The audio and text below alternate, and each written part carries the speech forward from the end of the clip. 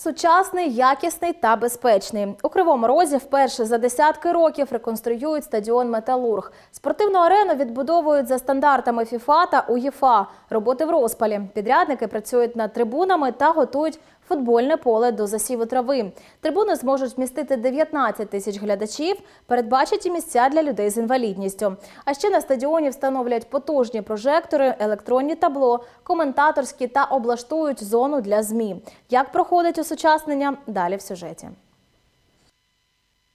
У стадіону Металург багата історія. Колись на ньому проходили легендарні матчі, а трибуни гули окриками вболівальників. Але то давня історія, пригадують місцеві. Довгий час Металург стояв занедбаний. Реконструкція стартувала у квітні 2021-го. Масштабне оновлення за європейськими стандартами. Бо після введення в експлуатацію стадіон не лише має стати головною тренувальною базою та футбольною ареною міста. Тут також проходитимуть і міжнародні змагання. Нині підрядники будують наново три трибуни, а четверту ремонтують.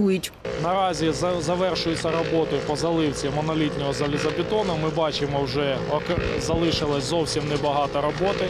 Разом з тим е, виконуються роботи паралельно по влаштуванню переборок з газобетону та з цегли.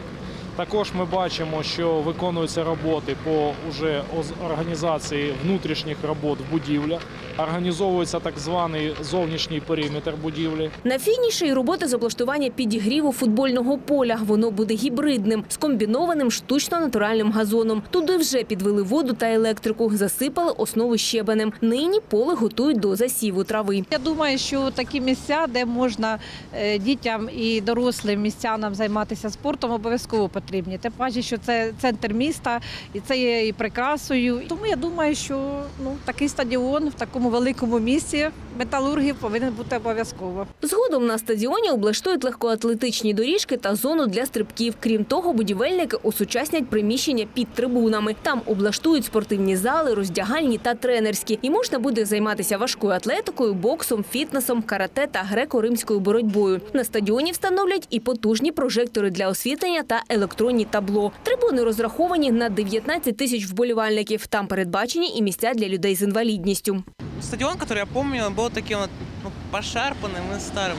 Конечно, хотелось бы видеть бы таким, как его представляли на постерах, которых мы видели. Возможно, на, у нас тут будут проводиться матчи по футболу, концерты и так далее.